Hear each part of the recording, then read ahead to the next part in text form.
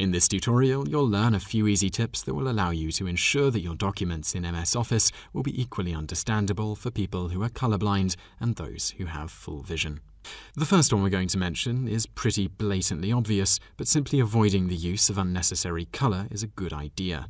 When you do need to use colour, do make sure that you label it properly. An example of this would be that if you have a picture of a green rectangle, then make sure that you label it as green. The most common form of colour blindness, or deficiency in eyesight in general, is with the colour of pale blue. If you can avoid using this colour in the text, do so whenever possible. When it comes to images, especially ones with colour, people with colour blindness or eyesight degradation often struggle. A great way to help with this is by using alt text, which is that bit of information that appears when you hover over an image. This is done by right clicking on the object, clicking Format Picture, and then clicking on alt text.